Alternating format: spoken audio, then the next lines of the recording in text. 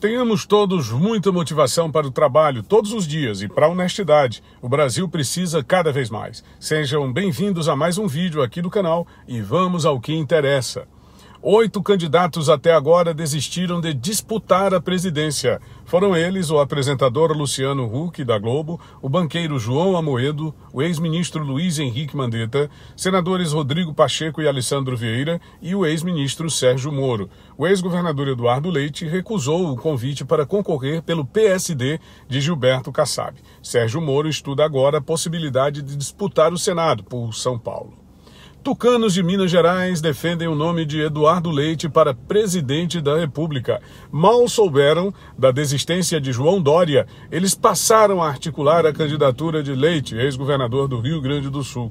Eles entendem que a candidatura de Eduardo Leite é muito mais viável, muito mais viável, porque agrega mais e tem um desgaste infinitamente menor. Dória é detestado não apenas no seu partido e no seu estado.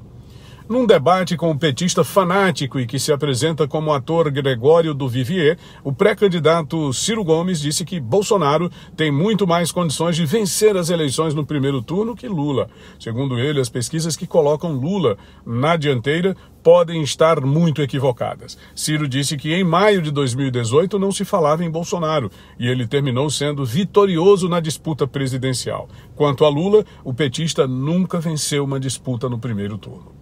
Para saber mais, acesse trnoticia.com.br. Obrigado e vamos adiante.